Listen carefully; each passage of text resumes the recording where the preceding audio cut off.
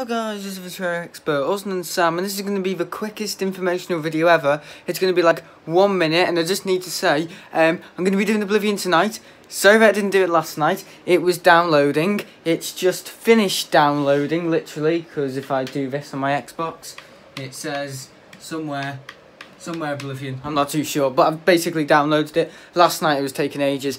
Didn't do Oblivion last night just because, yeah, it was taking ages. Uh, no Q&A Wednesday today because I have no questions, because in the last week I've had some really good questions, so, yeah, I just thought, no, no no questions this week. Uh, and also, you know, mainly I've answered them from, like, you know, last week and stuff like that, and, you know, two weeks ago, and also in live streams that I remember. No, that's basically it. I'll be doing, uh, not, not a live stream tonight, just basically I'll be starting Oblivion, you know, my new series, and that is that. Literally, that's the end of this video. That's how quick it is. Do you like my playing collection? It's very nice. Yes, see you later. See you in Oblivion. See you tomorrow when it uploads. Bye!